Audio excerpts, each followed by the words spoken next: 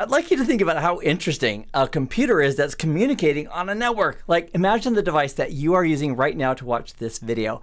That device has a network interface, some kind of an adapter is probably built into the device. It could be using wireless signals with Wi-Fi, or it could be maybe has a physical connection, it's plugged into the network, but either way, it has an interface and an IP address. Now, one of the questions I'd like to answer in this video is how in the world did your device and all the devices around you, how did they get IP addresses just automatically? It's done through the process of DHCP, which is an acronym that stands for Dynamic Host Configuration Protocol. And in this video, I'd like to explain it, give you some examples of it, and demystify it starting now.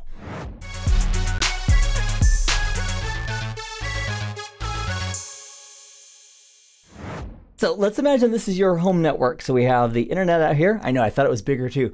And it's connected to our little home office router slash switch slash Wi-Fi device. Now those devices come in various shapes and sizes. Let me show you some examples. That device could look like this. This is a really old Apple router slash switch slash Wi-Fi device. And here's yet another example. This is a really old router. It has Wi-Fi also built into it that I've used in the past.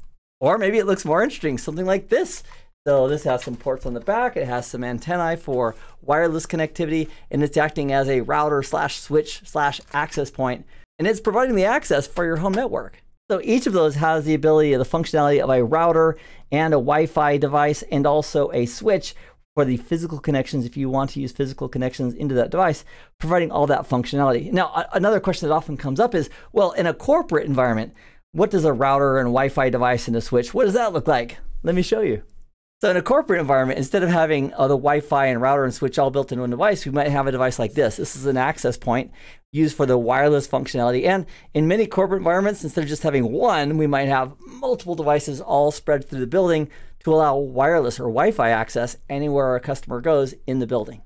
For the switching functionality, instead of having little four ports in the back of our little home device, in a corporate environment, we might have a device like this, which is a dedicated switch with dedicated switch ports on it. And this is an example of a router, a dedicated router that we'd find in a corporate environment.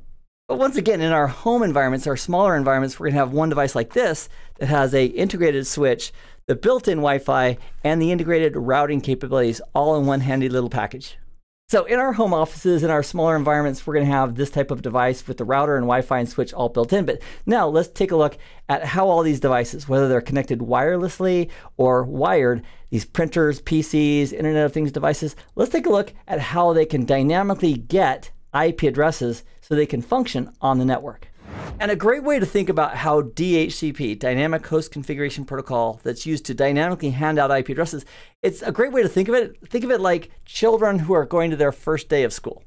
So the kid's are a little nervous or a little anxious, and they walk into the schoolroom. They see the teacher. They say, "Hi, I'm Billy or Sally or whatever the person's name is," and and they say, "I'd like to have a seat."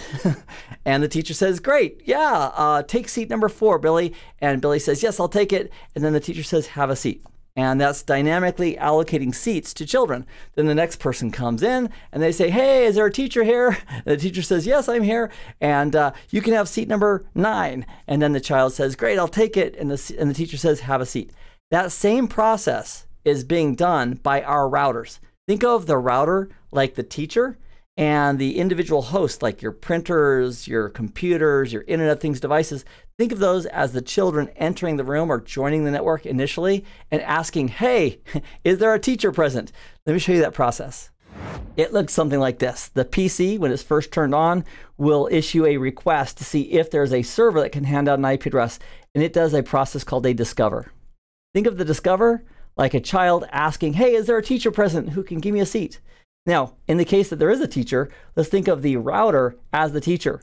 And the router will go ahead and make an offer. And that offer basically says, hey, glad to have you here. Take seat number five. At which point Johnny says, or Sally, or whoever the client is, says, great.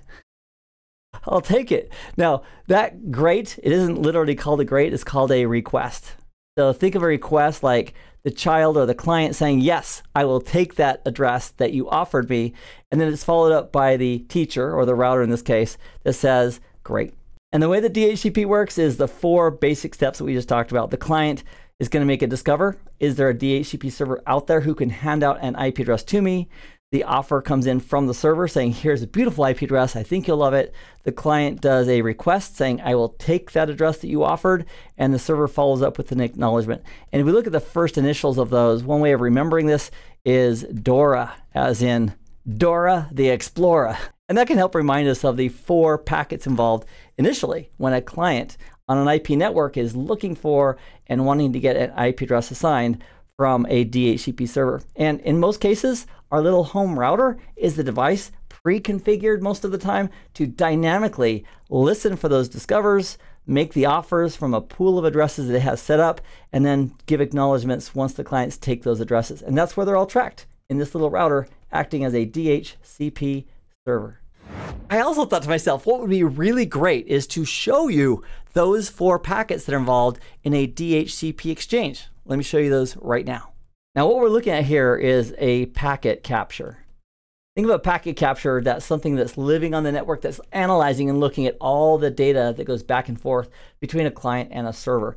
And let's also imagine that we have a PC that just came online and it's asking for a DHCP address. And the router is going to be acting as our DHCP server, which is handing out IP addresses. And so our initial packet is a discover. So this is the client saying, yeah, I need an IP address. Is there a DHCP server present? And then the next packet is from the server, which is an offer. And in that offer, it has the IP address that's being offered to the client. If the client likes it, it'll say, great. It'll send a request saying, I'll take that IP address. Thank you very much. It's fantastic.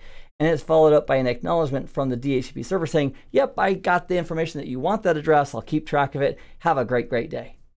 And most networking devices by default are going to be acting as DHCP clients with that initial discover message to get the ball rolling. And most home routers are pre-configured to act as DHCP servers. So it's a match made in heaven. So there's not a lot of mystery now about how a device gets an IP address. It's done through DHCP, the Dynamic Host Configuration Protocol. So thanks for joining me in this video and I'll see you in the next video or live event. Until then, be well, be happy, and be kind to everybody. Bye for now. I've been waiting